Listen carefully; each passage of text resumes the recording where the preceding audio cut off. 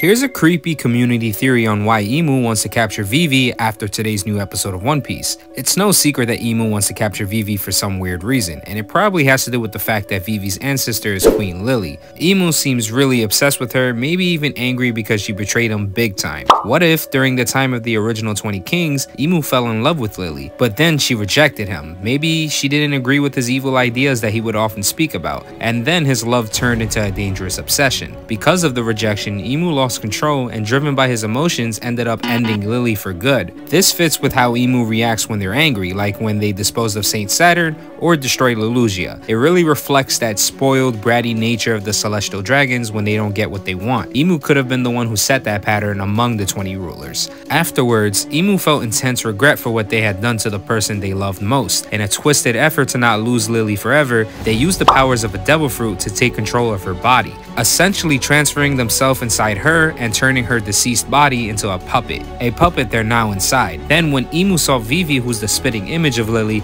they saw a chance for a second shot at love. Now they're trying to capture Vivi against her will, believing they can be with her romantically. And Imu was this close, they almost captured Vivi too, but everything went wrong when Sabo broke into the throne room. His interference triggered a chain reaction that led to Wapol unintentionally saving Vivi and delaying Imu's plan. But let me know what you guys think. Do you think Imu did it because of love? Or did they maybe take over Lily's body because that was the key to becoming immortal and gaining true power? Let me know, I'd love to hear your thoughts.